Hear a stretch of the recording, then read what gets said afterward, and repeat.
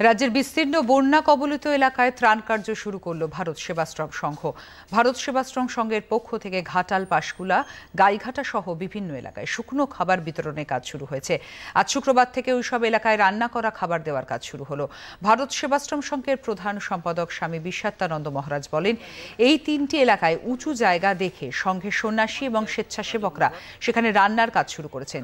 সেখান থেকে নৌকোই করে খিচুড়ি, ডালমা সহ বিভিন্ন তরিতরকারি এবং খাদ্যদ্রব্য নিয়ে গ্রামে গ্রামে বন্যা কবলিত এলাকায় পৌঁছে যাচ্ছেন সংঘের সন্ন্যাসী এবং স্বেচ্ছাসেবকরা।